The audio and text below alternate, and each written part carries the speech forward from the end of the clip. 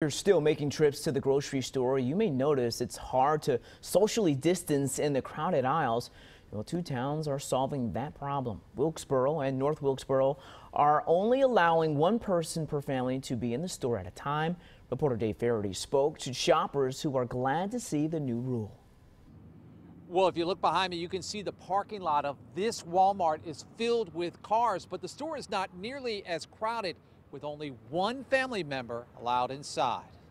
Outside the Walmart in Wilkesboro, we could see workers making sure only one person at a time was entering the supercenter.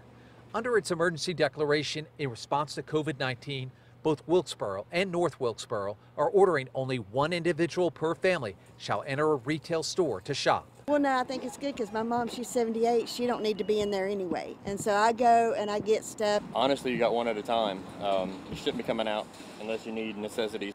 The orders extend to businesses across both towns, even saying that children should not accompany a parent when they go to the store. This woman who wore a mask today for protection says too many families and friends were going out together during the stay at home order.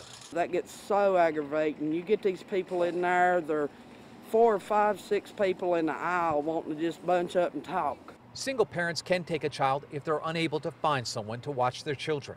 The towns are also ordering people to maintain social distancing inside the businesses and follow the directions of workers and the signs placed at the stores. This couple went to the store this morning, but Vince Adams says he stayed behind in the car. We gotta gotta stay safe. It's a little inconvenience, but it's well worth it if it keeps people safe. And the city manager told me earlier they're hoping that shoppers voluntarily comply with the order. They don't want to have to fine someone up to $500. Already here in Wilkes County, one person has died from COVID 19. Back to you.